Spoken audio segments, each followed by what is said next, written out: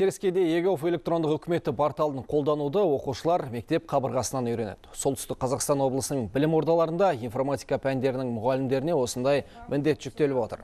Білім басқармасы мемлекеттік қызмет істері және сыбайлас жемқорлыққа қарсы іс қимыл департаменті мен халыққа қызмет көрсету орталығы үш жақты меморандумға қол қойып облыс бойынша 513 ұстазды егов порталы бойынша оқытып жатыр.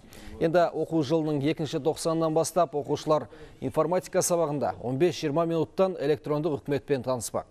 Бүгінде егов электрондық үкіметі үкіметінің порталы арқылы 400-ден астам мемлекеттік қызмет түрін алуға болады. қазір барлық адамдар интернетте және әр құрылғыларда отырады планшет немесе ұялы телефон қазіргі балалар жақсы дамып жатыр интернетпен жақсы жұмыс істеледі. Сондықтан біз бос уақытта бұларға түсіндіреміз және мұғалімдермен бос уақытта осы порталмен жұмыс істеуге үйретеміз.